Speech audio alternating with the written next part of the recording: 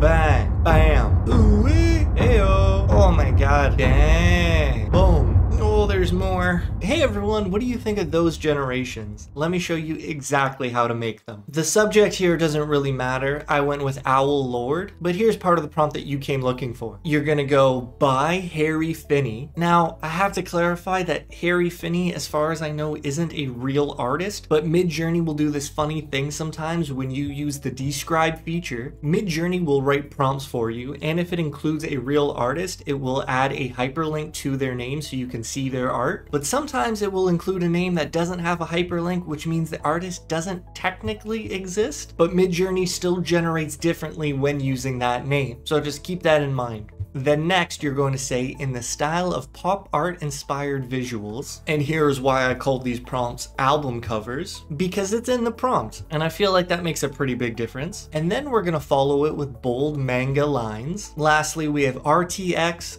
comma metal. And in some of these cases, I use stylized 400 and chaos 40, but that's just a personal preference. I really don't think you need to. And this is what that concoction comes up with. Like such cool colors, such a cool art style. Oh, I can't get enough of this. Then I tried the Vietnam Sphinx. When chaos is set this high, you never really know what you're gonna get, but I love what this prompt generates. This is all in version 5.1, by the way. 5.2 is due out soon, and maybe it'll be released by the time you see this, feel free to try it on that algorithm. Look at what it can do with poetry. Tomorrow is too late. I love number one so much. I think that's so beautiful. Autumn snowfall, take a look at number two. And maybe I should mention that this is why I use a higher chaos value. I've made a lot of Midjourney images in the last year. And at this point, instead of looking for a grid that has four really good images, I'm looking for just one that is absolutely mind blowing. And I find I get that with the high chaos value. Like number two is just, oh, that's insane. The gateway to coral Castle. I'll be honest, I'm not really a fan of one, three, or four, but number two,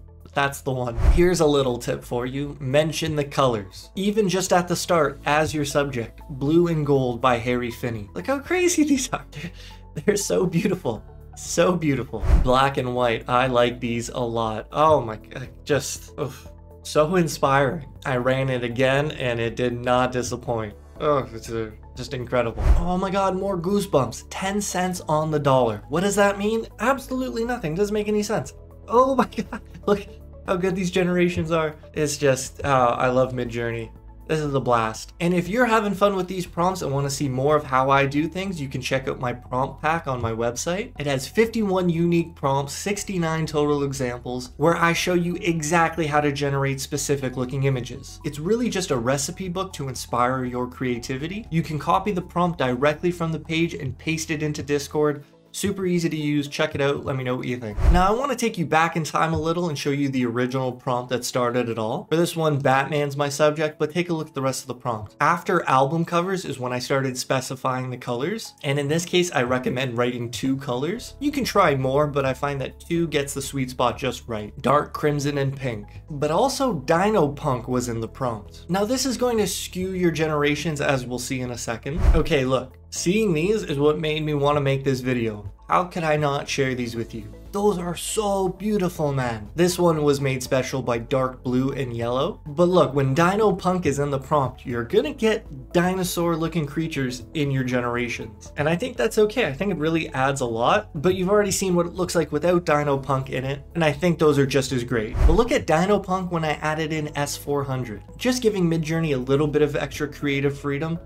And like, oh my God, Number three, number four. Ah, oof. Goosebumps, man. I'm getting chills just sitting here looking at these again. I can't wait to see what you create with this prompt. Here's where I started adding in some chaos. Even with Dino Punk in the prompt, number one, three, and four don't really have anything to do with it. And those are just the most gorgeous pictures. Like, oh my god. Oh, I love these so much. But for full disclosure, they're not perfect every time. This is just a re-roll of S400 C40. These aren't great, but you've seen what came before it, so it's a bit of a gamble with what you're gonna get, but I implore you to try. This is a really fun prompt. Dude, look at it in a wide landscape. Holy cow. Number two is so random, but I love that silhouette, this outline of this character. Number three, the girl with the Godzilla behind her. And then number four, the glowing eyes and the glowing teeth and just like, whew, Powerful, powerful stuff. For the record, I highly recommend changing up the colors. Turquoise and coral, beautiful palette. Red and green, not bad. Sky blue and cardinal red. Don't be afraid to get really specific. I think I'll do a whole video on color combinations sometime soon, so stick around on the channel if you want to be there for that. Olive green and gold, big fan. Tangerine orange and turquoise blue, oh my god. Look at number, look at these guys.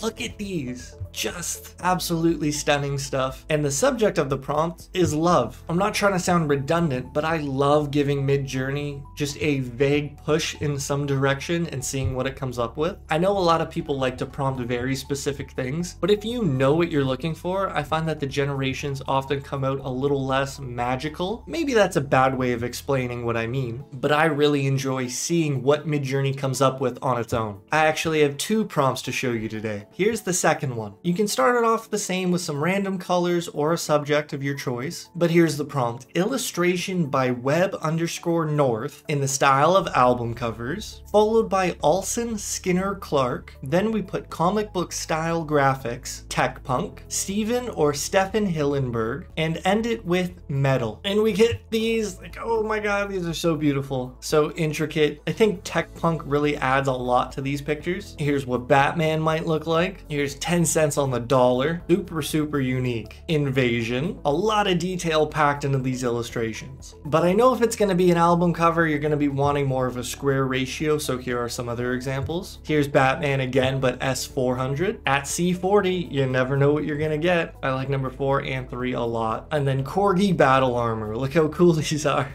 They're so funny. Alright, there's some album cover prompts for you. Leave a like on this video so we can share it with more people. I hope you're doing well. Take care and I'll see you next time. Peace.